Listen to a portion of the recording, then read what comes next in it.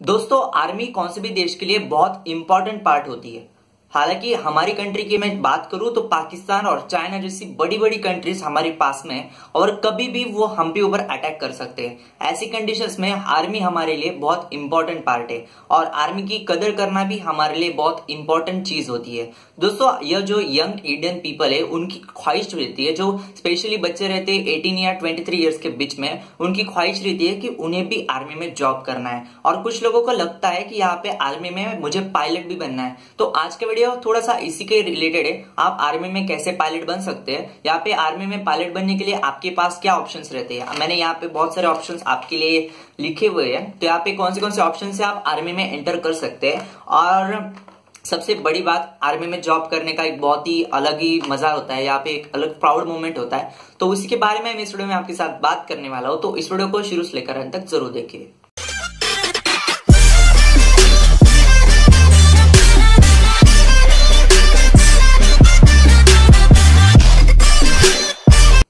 Actually हमारे एक viewer है, उन्होंने रिक्वेस्ट की थी कि डिफेंस में पायलट कैसे बने, उसके ऊपर एक वीडियो बनाओ। तो मैंने सोचा सबके लिए ये वीडियो बनाना भी बहुत ज़्यादा इंपॉर्टेंट है, क्योंकि जो यंग इंडियन पीपल है, उनकी ख्वाहिश तो बहुत रहती है कि आर्मी में जॉब करना है, लेकिन कैसे जॉब करना है, कौन सी एग्ज़ाम देनी है सिलेक्शन कैसे होता है, ये कुछ पता ही नहीं होता। जब फॉर्म निकल जाते हैं, तब पता चलता है, यार यार, इसकी तो वैकेंसी निकली हुई थी। तो यहाँ पे इसके बारे में मैं यहाँ पे बहुत सारे पॉइंट्स आपके लिए लिख चुका हूँ। तो धीरे धीरे एक एक करके हम आर्मी में डिफेंस पायलट कैसे बन सकते हैं, इसके बारे में आज की वीडियो में बा, बात करने वाला हूँ। तो दोस्तों देखिए सबसे पहली बात अगर आप आर्मी में पायलट बनना चाहते हैं तो आपके पास चांस होता है जब आप बारहवीं का होते हैं यानी आप टेन प्लस टू यानी आप बारहवीं के जो होते हैं तो यहाँ पे बारहवीं स्टूडेंट्स के लिए जो ट्वेल्थ स्टूडेंट होते हैं वहाँ पे उनके लिए एनडीए की एग्ज़ाम होती है। शायद आपने इसका नाम सुना होगा नेशनल डिफेंस एकेडमी इसकी एग्ज़ाम होती है और नेशनल डिफेंस एकेडमी की एग्ज़ाम में अगर आप अच्छा स्कोर कर लेंगे मेरिट लिस्ट में आ जाएँगे तो आप आर्मी में डिफेंस या फिर बोल सकते हैं आर्मी में पायलट बन सकते हैं और इसके लिए आपके जो डोर्स है, वो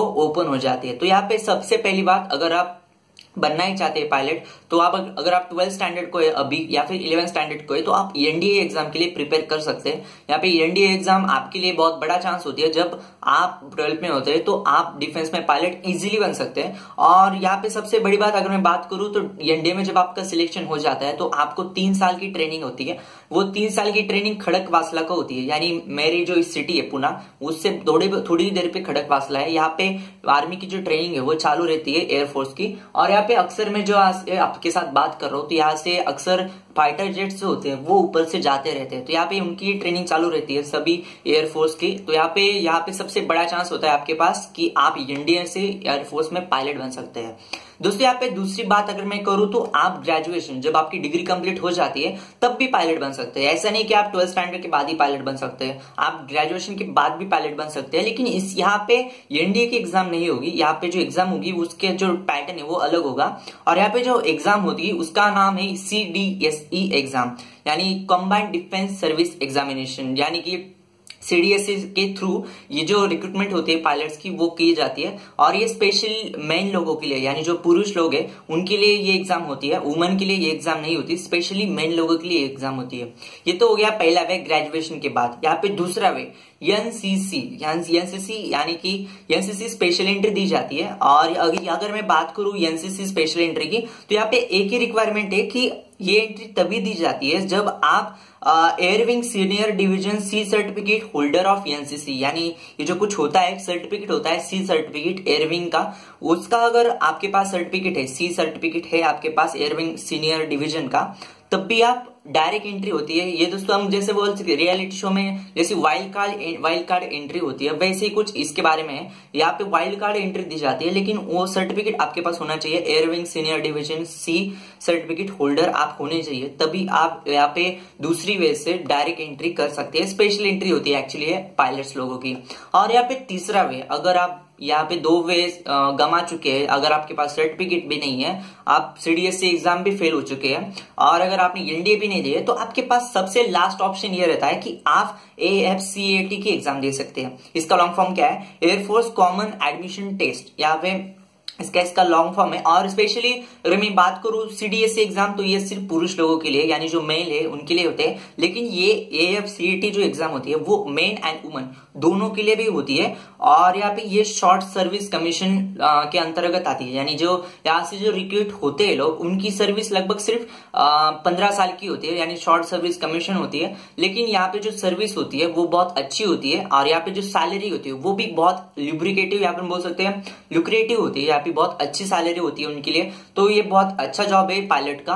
और दोस्तों, अगर मैं सबसे वीडियो के अंत में बात ही करूँ तो दोस्तों आर्मी का जॉब एक प्राउड मोमेंट होता है। आपको सैलरी कितनी मिलती है, इसकी जो हम बोल सकते हैं, इसकी हम वैल्यू नहीं रख सकते। यानी जो सैलरी होती है, वो इस जॉब की वैल्यू नहीं कर सकती। यहाँ पे जो जॉब होता है, वो बहुत अच्छा होता है, लोगों की भले का काम होता है। और यहाँ पे जो यंग इंडिया या फिर जो पीपल ऑफ़ इंडिया है, उनकी संरक्षण करना या फिर उनके लिए अपनी जान लगाना, ये बहुत बोल सकते हैं बहुत कम लोगों को चांस मिलता है ऐसी सर्विस करने का। यहाँ पे जो हज़ार लोग है, उसमें से सिर्फ़ एक लोग ही ऐसी सर्विस ज्वाइन कर पाते हैं। लेकिन अगर आप इलेवन ट्वेल्थ स्टैंडर्ड में हैं तो आपके लिए चांस है कि आप एयरफोर्स में पायलट बन सकते हैं। ये बहुत अच्छा वीडियो है। एक्चुअली ये किसी को पता ही नहीं होता कि पायलट कैसे बनना है एयरफोर्स में। कमर्शियल पायलट के लिए तो बहुत सारी ट्रेनिंग स्कूल्स है, लेकिन गवर्नमेंट आर्मी में जो पायलट होते हैं, उनके लिए तो ये सिर्फ़ चार वेज ही है। एक एक वे हो गया एनडीए, एक वे हो गया सीडीएससी एक वे हो गया एफ़ सी टी अनेक वे होगा एनसीसी स्पेशल एंट्री तो ये ही चार वेज है, आप जहाँ से एंट्री कर सकते हैं। अगर आपको ये एग्ज़ाम के नेम अभी ध्यान में नहीं आ रहे तो डिस्क्रिप्शन में इसके एग्ज़ाम के नेम दे दूँगा, ताकि आप वहाँ से जाके आप चेकआउट कर सकते हैं। और दोस्तों, अगर आप इस चैनल पे नए आ गए तो प्लीज़ सब्सक्राइब करना बिल्कुल भी मत भूलना, क्योंकि ऐसी वीडियोस जो यंग इंडियन पीपल है, जो सिर्फ़ सोचते हैं कि डॉक्टर और इंजीनियरिंग में बन सकता हूँ तो यहाँ पे ऐसा बिल्कुल भी नहीं है। उनके लिए कुछ अच्छे करियर ऑप्शंस कुछ क्रिएटिव करियर ऑप्शंस या फिर कुछ क्रिएटिव आइडियाज़ ताकि वो अपनी ज़िंदगी में कुछ अलग कर जाए बाकी लोगों से, ऐसी भी हर रोज कोशिश करता रहता हूँ। तो प्लीज़ इस चैनल को सब्सक्राइब करना बिल्कुल भी मत भूलना। और धन्यवाद दोस्तों वीडियो देखने के लिए। धन्यवाद।